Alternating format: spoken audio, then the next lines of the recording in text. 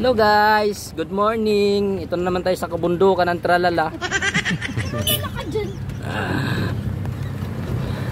Ayan, oh. Bundukan ng Antipolo. Bundukan ng Antipolo, ang ganda no. Sa may bandang Kaso nga lang guys, hindi maganda yung daan. Ginusto mo yan eh. Ang daan ay bayo kami. Ayan, road. oh. Shout out kay Kuya. Meron pa tayo ditong isda. Hello guys, galing tayo ng kabundukan ng Apia guys. Ayan. Ayan, Meron na naman tayong project kaya ito yung lupa dito parang Milo. Parang champurado. Parang Milo yung lupa dito guys. Ayan na. Kaya kasama natin yung mga tropang ano ah senior. Ayan, matinan natin. Ayan, nakikita nyo parang Milo. Oh, yan. Oh, ha? Mo. Ang ganda. Ang ganda. Mayroong putik. Este, may chocolate. Sa daan. Yan oh. Oh. May chocolate ang daan. Yan.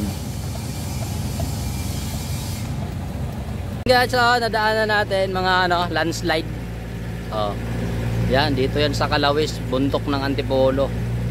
Kikita natin, no? Ayun o. Ang ganda ng puno. Wow, wow. Tapos grabe yung daanan dito, putik.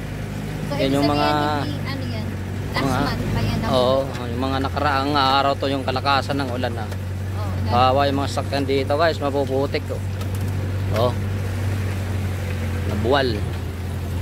Oh, yan oh. Pili lang kayo dyan oh.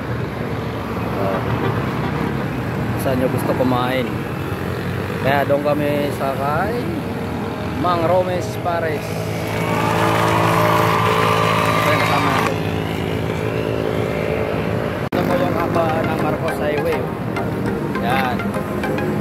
Bago po ito mag ay ito, puso-puso. Yan. Ito maraming kainan sa gilid kaya dyan tayo kakain mga katoto yan. Ganda rito. Galing kami bundok. Kaya nagutom. Yan guys, tapos namin sa kabundukan. Dito kami, kumakain na naman kami ng pares. Dito tayo sa Marcos Highway. ah, kay Mang Romes Paris Mami. Then shout out natin si paring Seth. Si ano ito eh. Yan. At then si Ma'am yung sa Rotary Club Antipolo Centro. Yan. Yan, shout out sa lahat. Ayan. Yan yung Paris. Natagpuan ko kay Mang Romes ah, dito sa Ito, ito, ito, ito. Pakilang ko. Oh. Yun o. Maming pare. Sarap. Sarap. Ito nga rin yung sili. Oh, sili. Yan. Sili kasama. Alaman sa Kalamansi. Yan kasama. Then dito yung ano. Paris.